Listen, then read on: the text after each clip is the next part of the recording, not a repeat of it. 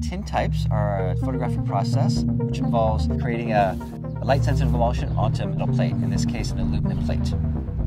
The actual act of photography is is very slow by today's standards. Uh, it, within an hour, you know, we're only capturing maybe you know four to six images. A lot more time is spent uh, in crafting each image, uh, as opposed to digital photography, we can be theoretically photographing hundreds of images in an hour it gives a different feel. Uh, a lot of today's digital photography uh, tends to be more candid of the moment, of the environment, and these these images, in my mind, they transcend that. They kind of they, they, they go to a quieter place and a more thoughtful place.